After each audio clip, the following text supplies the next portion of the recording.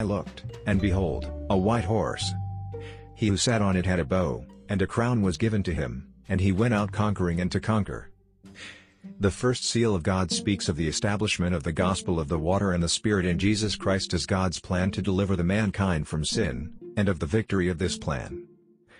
God the Father's plan to make the mankind into his people by saving them from their sins began with gospel of the water and the Spirit in Jesus Christ that is, with the deliverance of the mankind from sin through the baptism of Jesus and his blood on the cross.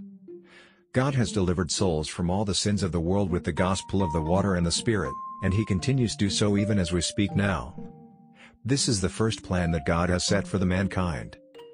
This first plan of God is for the salvation of the mankind through the coming of Jesus Christ to this earth, his baptism, crucifixion, and resurrection. This era of the white horse refers to God's victory in the righteous war of the gospel that he fulfilled to deliver the mankind from all its sins.